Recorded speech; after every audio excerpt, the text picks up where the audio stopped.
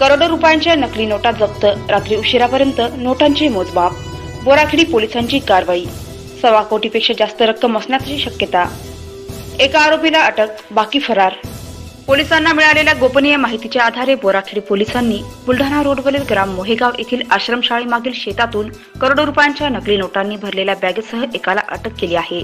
तर सोबत असलेले आरोपी घटनास्थळावरून फरार झाले आहेत. याबाबत सविस्तर वृत्त असे की बोराखेडी पोलिसांना मिळालेल्या गोपनीय माहितीवरून मोताळा तालुक्यातील ग्राम मोहेगाव येथील आश्रमशाळेमागील शेतात करोडो रुपयांच्या नकली नोटा असलेल्या युवकाला बोराखेडी पोलिसांनी ताब्यात घेतले आहे. घटनास्थळावरून काही आरोपी फरार झाले असून पोलिसांच्या वतीने त्यांचा शोध घेण्यात येत आहे. आश्रमशाळेच्या पाठीमागील शेतामधून एका आरोपीसह पोलिसांनी ताब्यात घेतलेल्या काळ्या रंगाच्या बॅगमधून पोलिसांनी करोडो रुपये ताब्यात घेतले आहेत. ताब्यात घेतलेल्या करोडो रुपयांच्या नोटापैकी नोटांच्या प्रत्येक गड्डीला पहिली नोट ही ओरिजिनल लावलेली आहे. तर बाकीच्या सर्व नोटा ह्या नकली आहेत.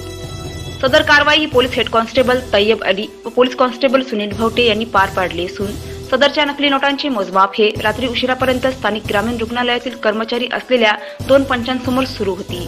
सदरच्या प्रकरणात बोराखेडी पोलिसांच्या वतीने कारवाई करण्यात येत असून वृत्त लिहेपर्यंत कोणत्याही प्रकारचा गुन्हा दाखल करण्यात आलेला नव्हता.